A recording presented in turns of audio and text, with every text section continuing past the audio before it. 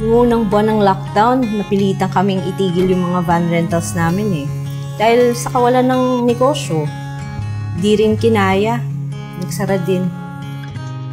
Gala lang ako sa mga panghulog sa sasakyan.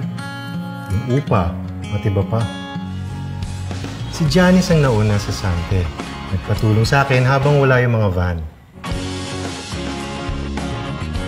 Maayos ang kita ko sa Sante.